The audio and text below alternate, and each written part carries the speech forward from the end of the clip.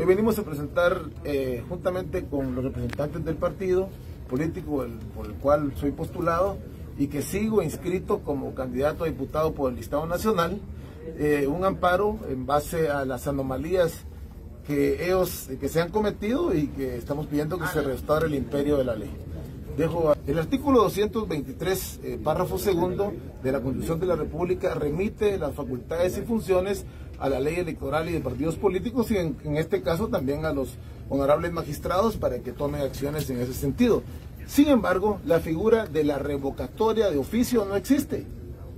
La figura de revocatoria de oficio no existe en tal normativa, por lo cual estaríamos hablando de que las acciones que se revoquen tomando o incluyendo una nueva norma o un nuevo argumento es nula de pleno derecho y estaríamos hablando de acciones totalmente eh, ilegales. La revocatoria de oficio no existe. Eso, eso implica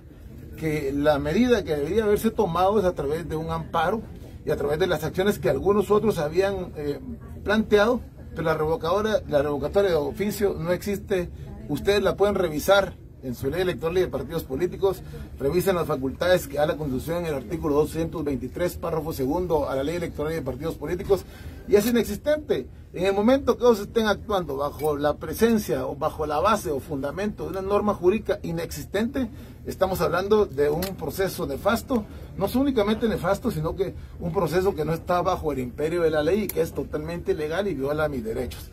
Con relación a lo que usted menciona de la FESI, Entiendo que la FESI solicitó, eh, envió un informe eh, donde exactamente explica la situación de los casos que yo mantengo en la Corte de Tribunales y en los procesos en los cuales yo estoy incluido, pero como también lo hicimos nosotros en su momento a través de la nulidad, lo hizo el partido, en esas informaciones está claramente establecido que en ninguno de los casos estoy inhabilitado. En ninguno de los casos que se establecen a través de lo que FESI explica, existe inhabilitación alguna para que yo pueda ejercer mi derecho a elegir y ser electo y gozo de presunción de inocencia, lo cual significa no he sido condenado ni vencido en juicio alguno.